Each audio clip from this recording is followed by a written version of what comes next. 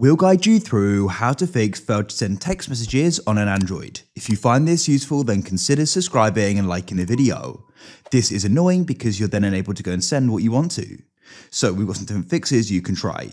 Drag down from the top of your phone like so, and you want to go and look at the top.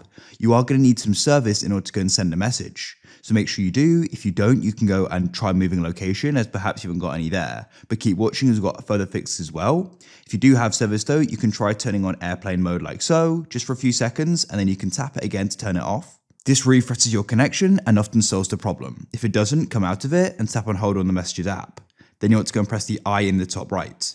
You want to go and press force stop in the bottom right and confirm your decision, then come into storage and we can go and clear the cache. And you can also go and clear the data as well. Come and return, and then what you can try doing is sending the message again. If it's still not working, do just confirm you're texting a valid number and it's definitely correct, as it could be incorrect. Last of all, it's worth getting in contact with your carrier, as perhaps your account's been blocked from messaging for a billing problem or something else.